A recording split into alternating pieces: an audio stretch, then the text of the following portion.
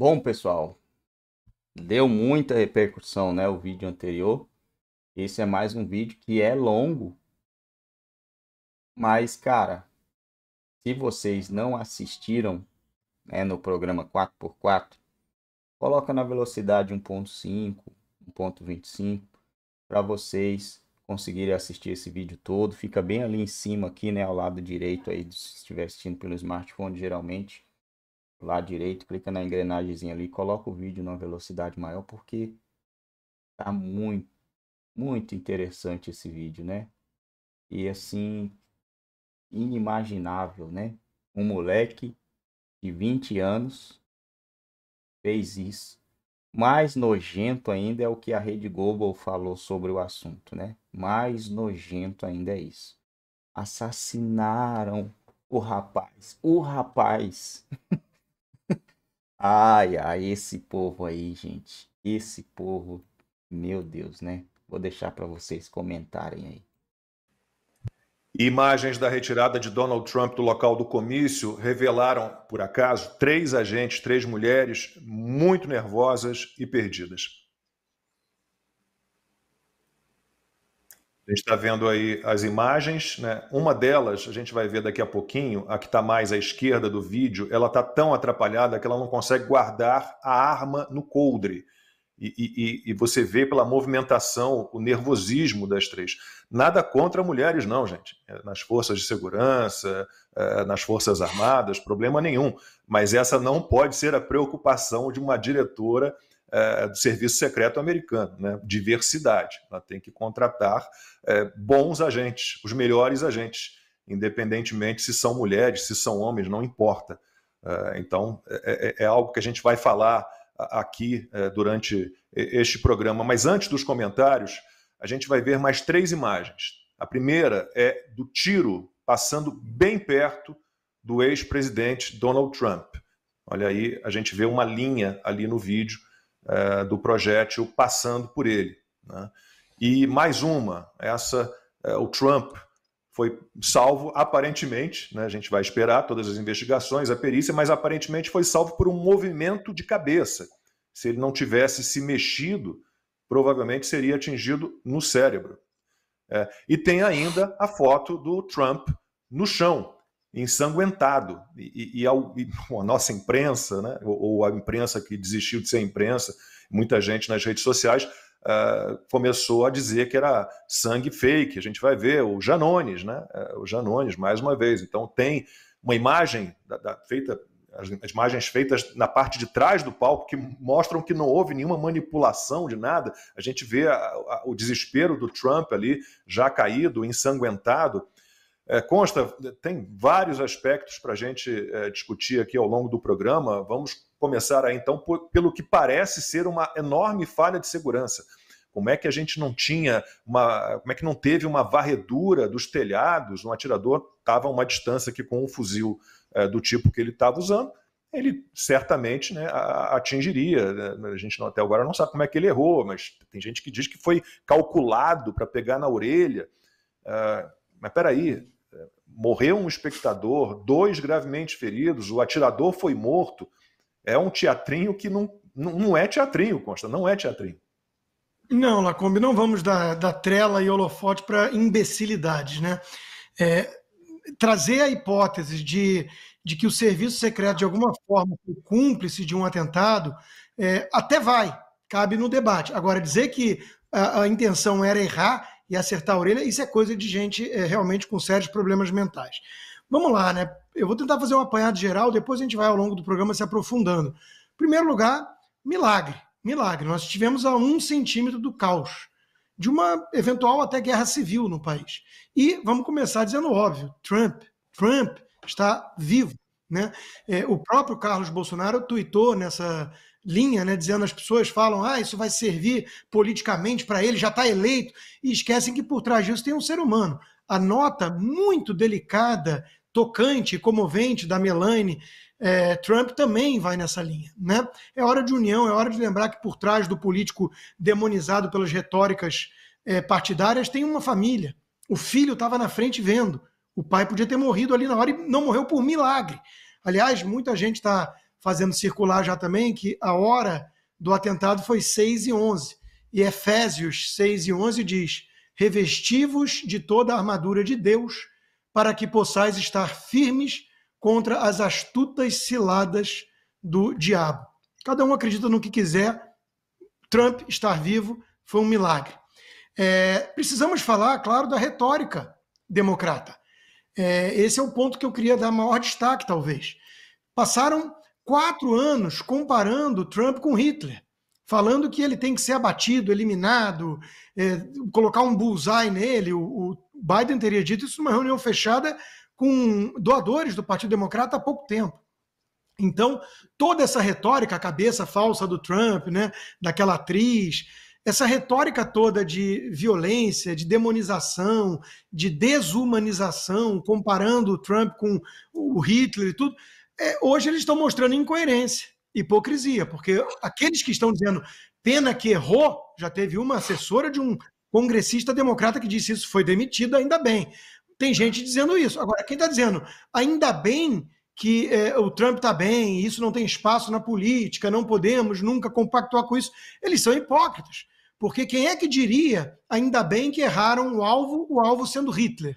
Ninguém diria isso. Então, essa estratégia de desumanização, de demonização, de comparação com o nazismo, com Hitler, ela leva a isso. Então, não precisamos entrar aqui no início na tese de se há ou não alguém por trás, China, Partido Democrata, CIA. Pode ser um malucão isolado mesmo que pegou uma arma e atirou. Pode ser isso, para mim até o mais provável. E normalmente eu atribuo mais a incompetência do que a malícia às coisas na política. Mas vamos lá. Estão alimentando há quatro anos essa retórica. O país tem mais de 300 milhões de pessoas. Você não acha que vai encontrar em algum lugar um maluco disposto a salvar a pátria do Hitler? Então é óbvio que essa retórica é perigosa. A, a, além disso, historicamente falando, foram conservadores alvejados, né? Mataram Lincoln, tentaram matar Reagan, recentemente atiraram no senador, o Scalise. Então, é evidente que essa retórica democrata precisa ser trazida para o debate. E são exatamente os democratas que falam que o Trump, que a direita, a extrema-direita, é uma ameaça à democracia, ameaça à democracia.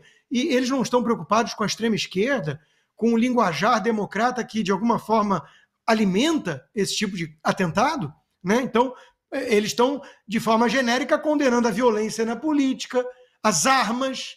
O, o, o Lewandowski foi nessa linha, o Barroso foi nessa linha, o Obama foi nessa linha. A turma toda democrata está indo nessa linha. Não, não podemos aceitar a violência. A, a Alexandra Ocasio-Cortez não consegue mencionar o nome do Trump. Não quero nem falar da imprensa agora, porque eu quero dedicar uma fala inteira a essa porcaria que assumiu o lugar da imprensa, do jornalismo que morreu no Brasil e no mundo, né? Então, claro que temos que falar do serviço secreto incompetente, dessa moça que, que trabalha para a Pepsi e que quer diversidade. Ninguém quer diversidade na, no comando de aviões e, e, do serviço secreto, que é gente competente. E cá entre nós, as imagens mostram a mulher fora do, do de shape, né, a gorduchinha lá, ah, não pode falar assim que é feio. Não, feio é botar uma mulher que não tem noção do que está fazendo para cuidar da vida de um ex-presidente e do principal candidato liderando todas as pesquisas. Ainda mais depois daquele debate que foi um fiasco. O que, uma vez mais, derruba a hipótese esdrúxula de quem diz que foi encenação. Né? Foi feito para alavancar a campanha de quem está liderando com larga margem, né? com folga. A imagem icônica do Trump reagindo, falando fight, levantando, né? isso também fica, ainda mais contrastando com a imagem do Biden que cai sozinho na escada. Né? O sujeito levou um tiro e levanta e foi jogar golfe hoje. Então, essa mensagem de força, essa entrou para a história, é icônica, né? e tem tudo a ver com a mensagem dos patriotas que estão cientes que estão numa cruzada, que estão lutando para salvar, eles sim, um país tomado por hipócritas e autoritários e totalitários. Essa é a verdadeira ameaça à democracia, Lacombe. Essa que nós vimos nessa é, é, é, lastimável tentativa de assassinato. Não se compara com o 6 de janeiro, que martelaram durante anos, né? que teve encenação, aí sim, né? Encenação daquele William Wallace falso, né? Aquele cara todo pintado que estava é, é, ciceroneado pela polícia ali. A gente viu nas imagens que tentaram esconder e foram a, a, a público depois. Isso sim é ameaça à democracia, Barroso, Lula e companhia, e Biden e Obama, né? Isso é uma ameaça à democracia. Eu fecho por aqui meus comentários iniciais. A gente vai ter muita oportunidade para voltar. Quero falar de imprensa, quero falar de DEI, essa porcaria que está woke, que está destruindo a América e a meritocracia. Mas a gente vai ter ocasião de voltar a isso. Por enquanto, eram, eram meus é, comentários iniciais, Jacob. Ana, a gente vai falar mais para o fim do programa da, da, da, do momento em que o Trump sai do palco, dizendo fight e, e se erguendo e, e, forte, apesar do que ele passou naquele momento, mas vamos nos concentrar então é, no que parece ter sido uma falha de segurança. Né? É, dizer que isso foi um teatro, que foi ensaiado, com, duas, é, com, com um espectador morto, dois gravemente feridos, o atirador morto, aliás, daqui a pouco falaremos um bloco aí da imprensa, né? Segundo o César Tralli no Jornal Nacional, ele foi assassinado, o atirador, ele não foi morto. Uh, mas não dá, claro, para comprar essa história de teatrinho, nem dá para dizer, eu acho, Ana, que, que, que se, se houvesse um plano das forças do serviço secreto, do FBI contra o Trump, não teria sido uh, executado dessa forma. então, foi, foi assustador mas acho que, que o que vem pela frente, né, apesar de tudo isso, é, será bom, de alguma forma. Infelizmente, de momentos assim, a gente tem é, é uma reviravolta, né? a gente tem é, é, ganha força, de alguma forma, Ana. É um, dá um sacode, né, Lacombe? É, ontem eu estava no Outra Coisa do nosso querido parceiro também, Guilherme Fiuza. Até deixar um agradecimento aqui a Valéria Peixoto no chat, disse Boa noite, Ana. Fiquei com vocês no Outra Coisa até o final, pouco depois das 24 horas, das meia-noite, né? Quem puder, assista a reprise. Nós ficamos quatro horas no ar, fazendo jornalismo raiz mesmo, pegando, bebendo das fontes primárias, eu em comunicação com os Estados Unidos, Fiuza também, a Nívia, a Adriana Reide, foram quatro horas, assim, é, dentro dessa notícia, porque o 13 de julho é histórico é histórico. Né? O 13 de julho será é, lembrado, relembrado, colocado, colocado nos livros para sempre. E no final do programa ontem, a Adriana Reide, querida Adriana Reide, disse uma frase que eu fiquei pensando nessa frase, nessa frase hoje o dia todo, Lacombe. Ela disse assim: Pois é, nós hoje poderíamos estar aqui noticiando que Donald Trump foi assassinado. É um milagre da Pensilvânia. Né? É o milagre da Pensilvânia, porque é, o que nós vimos ontem é o ápice do que vem acontecendo na tal política polarizada, na polarização da política. Só que que polarização é essa? Que polarização é essa que um lado quer dizimar o outro lado? Porque polarização é um bate no outro, vida que segue, vão se batendo e vão discutindo. Agora, que polarização é essa que um lado quer literalmente dizimar o outro lado? Que diz na pandemia que se você não tiver tomado lá, né, a tal picada, que você tem que morrer, que você não tem escolha.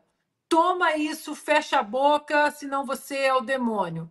Um lado é chamado de fascista, de nazista, até mais que quatro anos. Foram quatro anos na Casa Branca, com Donald Trump lá, e agora três anos, quase quatro anos também. Numa retórica que englobou, primeiro eles deram risada né, do Donald Trump em 2016, tem até um vídeo do Barack Obama dizendo que o Donald Trump tweetou na época, né, em 2016, antes dele sair das primárias, o Donald Trump tweetou que o Barack Obama é, seria considerado um dos piores presidentes dos Estados Unidos. E, ah, se eu não me engano, é daquele programa Saturday Night Live. E aí o Obama vai e diz assim: Bom, estou aqui lendo o tweet do Donald Trump, e Donald Trump disse que eu serei ah, lembrado na história dos Estados Unidos como um dos piores presidentes do mundo, né, da história. Bom, é, Donald Trump, pelo menos eu serei lembrado como um presidente. KKKKK e ficou rindo ali. Depois, né, claro que o vídeo viralizou quando Donald Trump saiu das primárias, depois se tornou presidente. Então, primeiro começou com isso. A chacota, riram dele, não vai sair das primárias. Aí ele sai das primárias. Aí ele vence um personagem do Deep State, do pântano, do establishment, do sistema, que é Hillary Clinton e a família Clinton, junto com a família Bush. Donald Trump venceu, né? As duas famílias, já que tinha o Jeb Bush nas primárias também, republicanas. Depois foram quatro anos de um verdadeiro inferno na Casa Branca. Não deixaram de governar. Era conluio com a Rússia, ele é amigo de ditador, ele é inimigo da democracia, ele desrespeita a Constituição, ele é homofóbico, nazista, fascista, impeachment para cá, impeachment para lá, passa impeachment na Câmara, não chega no Senado. Foi um inferno. Quatro anos de puro inferno. Na saída da Casa Branca, ainda tentaram passar um impeachment pós Casa Branca, ou seja, era preciso tirá-lo da Casa Branca, depois era preciso evitar que ele voltasse à Casa Branca. Não foi para frente. Depois tentaram tirar o nome de Donald Trump das cédulas das eleições primárias. Começou com Colorado, outros estados começaram a copiar. Vamos tirar o nome dele das cédulas. Ainda bem que existe uma Suprema Corte minimamente decente nos Estados Unidos e, por unanimidade, a Suprema Corte americana disse não. O nome dele permanece nas cédulas, esse caso serve para todos os outros, é a jurisprudência da Corte.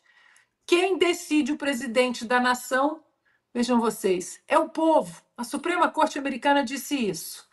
Pois bem, não deu certo também não tirar o nome dele das cédulas, então vamos começar a abrir processos. 91 indiciamentos, 91, vários processos abertos. Evasão fiscal e não sei mais o que, de impostos, uh, escreveu na, na, coluna errada e mentiu para o banco para pegar um empréstimo, e é a atriz pornô até que um caso foi levado adiante, cai numa corte extremamente ativista, uma corte de um distrito onde 85% daquele distrito votou com Joe Biden, e numa corte onde o juiz, vejam vocês, foi doador de Joe Biden em 2020 e a filha do juiz trabalha, vejam vocês, na arrecadação de doações do Partido Democrata. Ele foi considerado culpado e cada vez que essas coisas aconteciam, o apoio só aumentava, as doações só aumentavam. É, ele começou a entrar em redutos eleitorais do, do Partido Democrata, em redutos latinos, negros, da comunidade mais baixa, todos falando: eu vou votar em Donald Trump. Aí teve que acontecer, claro, o 13 de julho, porque não é possível que depois de quase oito anos ninguém vai parar esse cara. Então, o 13 de julho, Lacombe, é o ápice do que o Constantino e eu temos visto diariamente nos Estados Unidos da América há quase oito anos. Há quase oito anos, a demonização e a desumanização do seu oponente político.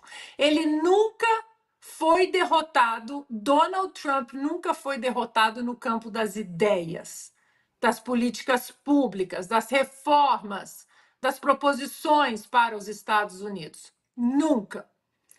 E aí, Lacombe, para finalizar os nossos primeiros, um, pouco longos né, eh, comentários, como você coloca uma mulher para proteger Donald Trump. Donald Trump que tem 1,95m, 1,96m, grande. E quando você vê ali a cena do tiroteio, vem uma mulher muito mais baixa que ele proteger Donald Trump, porque, claro, todos eles fazem ali uma roda em volta dele, porque eles têm coletes à prova de bala. E uma mulher muito mais baixa que Donald Trump. A outra, gordinha assim, mulher gordinha assim, que não consegue colocar o revólver ali, né, a arma no coldre. Não tem essa de, ah, porque é mulher, eu não vou falar mal. É mulher, gordinha, vá fazer outra coisa. Oi, vai emagrecer, vá. É a mesma coisa, é, porque agora a gente tem que é, obedecer uma regra imposta pela turba, a turba do politicamente correto. Tá lá. As mulheres mais baixas que ele. Como essas mulheres vão proteger? Cabelinho solto, rabinho de cavalo, para lá e para cá. Como assim? Nós não somos iguais aos homens. Fim, acabou. Não tem essa de que mulher é igual a homem. Não somos. E eles também não são iguais. Nós desempenhamos outras funções melhor que os homens e eles outras funções melhor que a gente. Fim. Chega desse politicamente correto. Ninguém aguenta mais. É isso. Vamos tocar o programa. Muita coisa para a gente falar. O Silvio, é, Consta e Ana sempre falam aqui no 4x4 que eles vêm é, do futuro, né? É, o, o, que acontece no Brasil já aconteceu nos Estados Unidos, então 6 de janeiro, depois 8 de janeiro. Neste caso, é, eu acho que, primeiro, né, é, foi aqui, porque a gente teve o caso Adélio Bispo na campanha do, do Jair Bolsonaro em 2018. Sem dúvida, 6 de setembro de 2018, né? A facada, a facada contra o presidente Jair Bolsonaro, à época candidato Lacombe. Olha, eu estava acompanhando aqui é, a riqueza de, de, detalhes, a cronologia toda que é, o Rodrigo começou e a Ana completou. É, eu queria trazer, Lacombe, talvez um olhar é, por um outro, um outro, um outro ângulo é, eu sei que a gente vai falar do jornalismo daqui a pouco, do papel da imprensa brasileira, isso vai, vai vamos dedicar aqui algum tempo, mas é, existe um, um, um, algo inevitável de largada para a gente comentar, que é a dificuldade, a dificuldade de quem tinha de reportar os fatos naquele momento de admitir que estávamos diante de um atentado.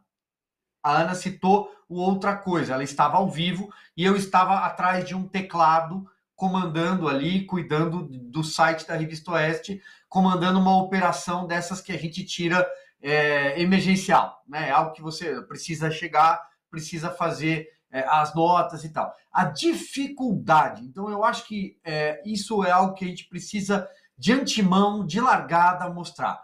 Ontem as máscaras caíram, por isso esse foi ali o comentário é, inicial que eu fiz. Eu acho que é, o jornalismo, de, de uma forma geral, ontem, ele deixou claro que ele se trata hoje de militância, de torcida. Tem, eu não vou falar aqui em CPFs, mas vou falar, por exemplo, em CNPJ. Eu acho que a Globo News, é, sobretudo ontem, eu acho que a Globo ela precisa, precisa repensar o papel dela enquanto é, jornalismo precisa repensar o papel dela se de fato aqueles profissionais estão ainda dispostos ao ofício que talvez um dia fizeram com que eles ingressassem na carreira ou se eles já estão em outro lugar.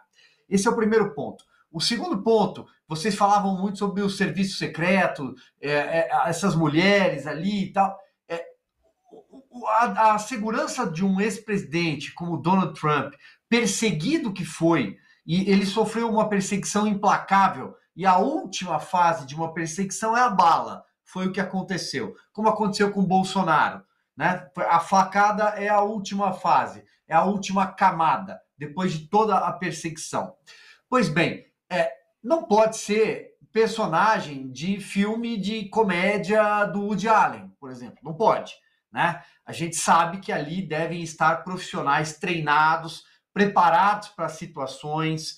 Uh, houve, eu, eu acho particularmente, que houve uma falha, porque no depoimento que nós exibimos aqui, é, uma pessoa diz: olha, nós avisamos a, pessoa, a polícia, tinha um sujeito rastejando ali com um rifle na mão. É, então, acho que houve toda uma, uma sequência é, de erros. Mas essas senhoras, com todo respeito, não podem ser agentes secretas, elas não podem ser é, seguranças de presidente da República em lugar nenhum. Aliás, elas talvez deveriam estar em cima de uma esteira neste momento. Nossa, Silvio, meu Deus, agora você será cancelado pelo que você acabou de dizer. Não, não é lugar para lacração, é lugar para eficiência, é lugar para destreza. Eu acho que esse é o ponto em relação à segurança. E eu não quero me alongar na questão da imprensa, porque eu sei que eu estou ultrapassando a sua pauta, Lacombe, mas é inevitável. Como profissional que sou há 25 anos, 26 agora, em redação, você também tem uma, uma estrada tão longa em redação. A gente sabe o que aconteceu ontem. Ontem as máscaras caíram. E eu não tenho como não é, citar isso de antemão sem querer me alongar. É, falaremos daqui a pouquinho é, de CNPJ e de CPF também. Né? Vamos citar alguns jornalistas nominalmente, vamos citar veículos, né? que, que não dá para dizer que sejam veículos de imprensa mais, vocês me desculpem. A gente vai citar daqui a pouquinho. É, bom, antes de passar então para contra o Donald Trump, mas agora especificamente, já falamos um pouquinho, vamos nos aprofundar, é, a imprensa canalha. Né? Porque para o jornal O Globo, como disse o Consta, vamos ver a imagem, Trump caiu do palco durante comício na Pensilvânia com sangue no rosto. A Globo News foi na mesma linha, tem só um print da tela. Olha o GC, Estados Unidos. Trump cai durante comício de campanha. G1 informou o seguinte: comício de Trump é interrompido após supostos sons de tiros. E a canalice foi tanta, a gente nem vai ter o quadro de humor hoje, mas trouxemos esse print especificamente porque a canalice foi tanta que virou até piada. Né? Hoje, bota, vamos lá, é isso aí. Hoje, no Fantástico, Trump desvia de bala e mata um inocente. Mas não foi só o Grupo Globo que agiu assim. A Jovem Pan uh, destacou o seguinte no seu canal no YouTube. Trump sofre ferimento na orelha em comício na Pensilvânia. Aí vamos para a Folha de São Paulo. Folha de São Paulo. Trump é retirado de comício após sons similares a tiros. Ex-presidente passa bem, diz campanha. E teve mais. Artigo de hoje da Patrícia Campos Melo na Folha. Vocês lembram da Patrícia? Foi aquela que fez a reportagem dizendo que a campanha do então candidato Jair Bolsonaro contratou é, disparos de WhatsApp, nunca provou, é essa, Patrícia Campos Melo. Vamos lá aos trechos, eu separei três trechos da, do artigo, entre aspas, dela. Nos Estados Unidos, o suposto atentado contra Trump priva os democratas de uma de suas principais armas, demonizar um candidato que tem muitos pontos fracos. Aí tem um outro trecho no vídeo do suposto atentado, é matéria de hoje, tá? Da Folha de São Paulo. Aliás, vê-se que Trump preserva seu instinto de fazer marketing mesmo nos momentos mais difíceis. E um último trecho da coluna da Patrícia Campos Melo, com o suposto atentado, os democratas, que já estavam com o candidato enfraquecido, perdem sua principal plataforma de campanha. E para encerrar, já citamos aqui que ele, o que ele disse, César Tralli, no Jornal Nacional, disse que o atirador foi assassinado. O ex-presidente americano Donald Trump fazia um comício na Pensilvânia. De repente foram ouvidos sons que pareciam ser de tiros. As imagens mostram um candidato do Partido Republicano colocando a mão na orelha e depois se abaixando do palco.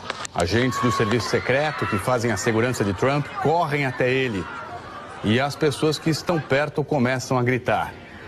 Trump foi retirado do local e as, as imagens mostram aí o que parece ser sangue também no rosto dele. O importante sobre, primeiro, o estado de saúde de Donald Trump e também sobre a identidade do atirador que, segundo as agências de notícias, foi assassinado aí pelos serviços de segurança, pela, enfim, pela polícia, né? motivação. né? Motivação em relação a tudo isso também. É, bom, é, vou começar pela Ana, Silvio e o Constantino fecha essa rodada de comentários. É, Ana, parece sons de tiro, parece sangue e o atirador ele foi assassinado. Eu vou pedir licença poética aqui e repetir o que o nosso querido Guilherme Fiuza disse ontem. Não, foi ketchup. Tinha ketchup. Ele estava comendo um hot dog. Ele estava comendo um cachorro quente e caiu ketchup na orelha dele.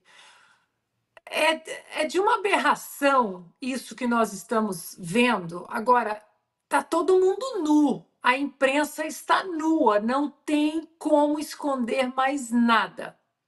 Eu quero voltar naquele ponto que eu disse sobre a polarização no meu primeiro comentário porque essa é a grande diferença entre dois lados do espectro político-ideológico, um lado quer dizimar o outro. Dizimar, de todas as maneiras. Agora, como vimos ontem, até matar o oponente político. Mas é dizimar nas palavras, com a censura, é, cerceando a liberdade de imprensa, não pode falar.